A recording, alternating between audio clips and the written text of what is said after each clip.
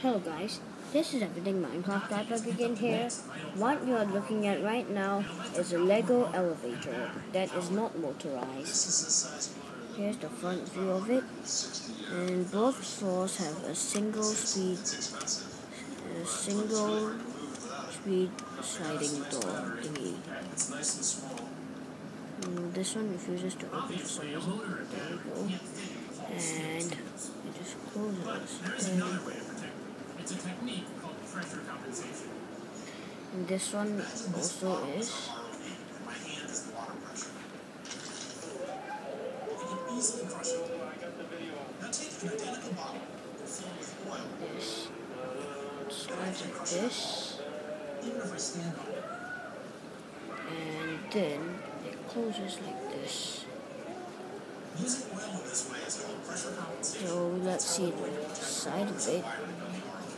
Do you know there's a hole right here? But that isn't really true. So right there, right here you can see the counterweight and the drive system which is controlled by hand.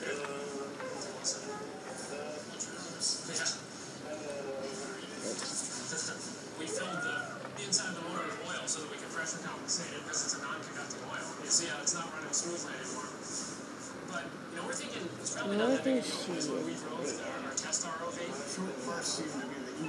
to navigate. Two weeks down, we've got half a motor and a few wire head housings, but nothing to call an ROV. This is our final day in the shop before we fly to Hawaii. You can cut the tension with a knife. Here Here's the counterweight and uh, the elevator shaft. The counterweight support.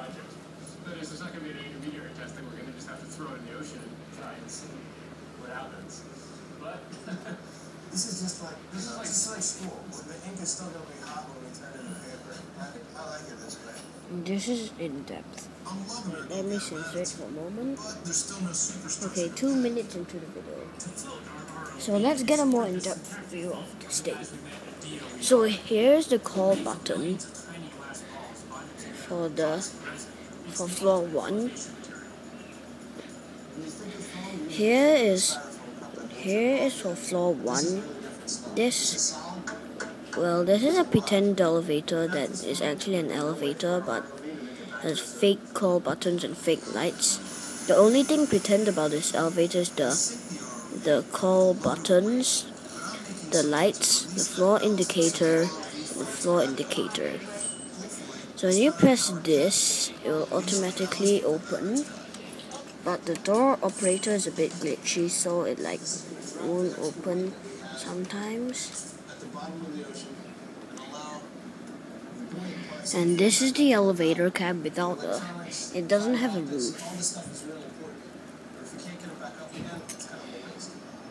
And then it won't close until 5 seconds later from now. But it has a door safety of sensors, so it won't close. Wait.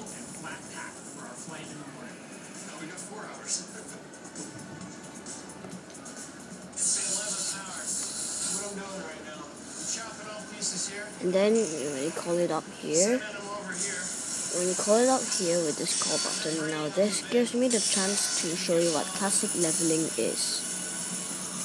Now first, remove it closer. And then we'll operate the thingy, or the traction mechanism. The ride is a bit bouncy. And then it levels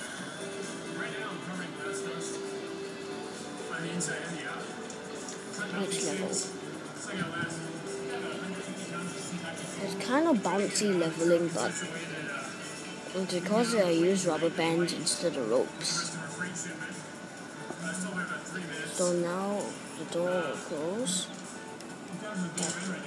It has a sensor. Don't close.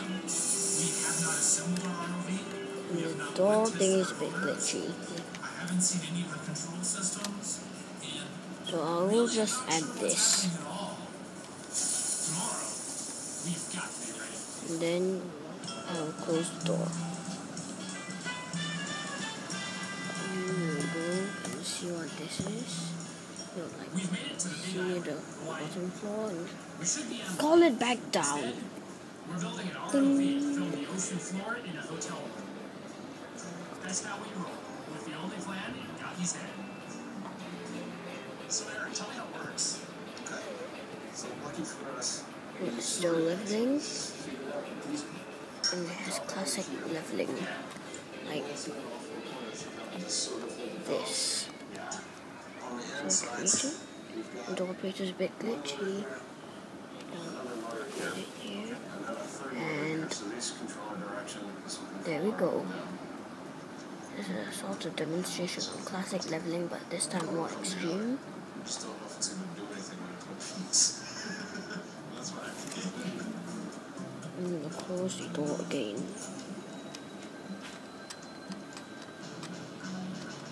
Oh yeah, the door operator is a bit glitchy. Our ROV in California and come here to Hawaii. So now we will see The ocean floor. top view. It hasn't quite worked out that way. The ROV is nowhere This is the motor. Here's the elevator for cab. 1,000 feet. Uh, it's trivial as compared to where we're actually headed, but this is our first shot. Just get a feel for how these things are going to behave.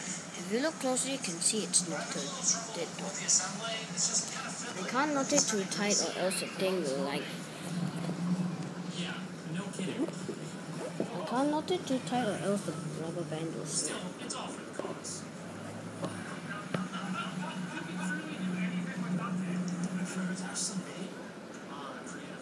So let's try to see if we can manage to do the classic leveling trick again. Call it up. Ding! And the motor's being operated with one hand, so it's a bit like that. Pretty nice. Notes are dropping it. 21, 24, Ding! Let's close the door. So that door closes quick. Sunlight. We'll call it down here without opening the door. Our test route is headed through the sunlight zone right now. This is cool.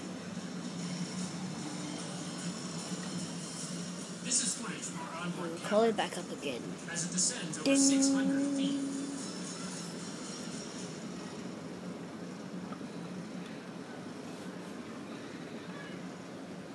Into the twilight zone.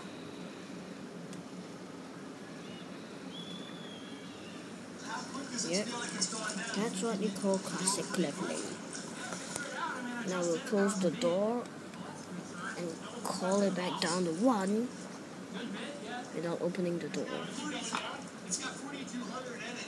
Let's, let's see how far it goes. Footage from the underwater camera shows just how black it is down there and how important the lights. So we'll call it back up to two. Camera And this time without classic leveling. It's slack, it's hard to say. Our camera rig is on the bottom, and we're filming deep sea visitors. A squat lobster just So this is the elevator. down. It scatters Lego just over the sea elevator. And it requires two hours of Curious and long-tailed red I spent two hours of my free time into this thing. It's mission accomplished for now. Time to get this test route back up. Originally, I wanted to use this guide rail kind of thingy, which is right this here Our for both doors, but one I had not enough, and the stupid cover it. Amazing footage up again. most feared killers. But just in case you can't see it, a second problem.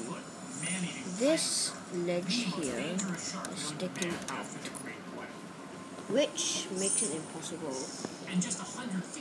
Let's close the door and call it back down to one, where we will see it no classic leveling.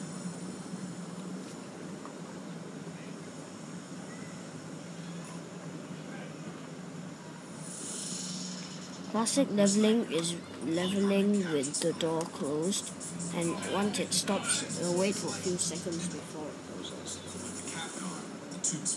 At floor 2, classic leveling is easier, so let's close the door. And operating the door is easier on 2. Ding!